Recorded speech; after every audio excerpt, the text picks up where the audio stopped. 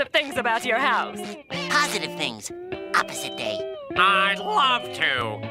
The floor creaks, the roof leaks, there's a terrible draft. Oh. Well, you didn't mention that on the phone. Please let me finish. The winters are harsh, the summers are brutal. There's a wild man eating clam in the backyard. Now, would you care to see the rest of my home? Well, I- am not sure if I'm interested. Nonsense! I won't take no for an answer. Please follow me. And here's the worst room in the house my gallery. Oh my! This painting is very nice. Who's that? I'd like to introduce you to Mr. Squidward. You're both Squidward? I'm Squidward. He's Squidward. We're, We're both Squidward. Squidward. well, that's done. At least SpongeBob has been quiet. ah! No! Okay, I really don't want to hear another one. Okay.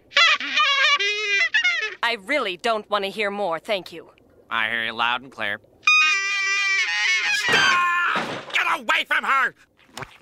Oh, oh, I am so sorry, ma'am. I hope these two barnacle heads haven't harmed you in any way. Who are you? Why, I'm Squidward. What kind of fool do you take me for? He's Squidward, he's Squidward, you're Squidward, I'm Squidward! Are there any other Squidwards I should know about? Meow. I'm out of here. Ma'am, please, what about my house? I wouldn't sell a house for you if you were the last Squidward on Earth! Wait! Don't go! Ah! Down! No! No! No!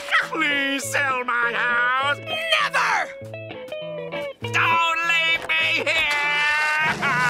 Happy, Happy opposite, opposite day, day, Squidward.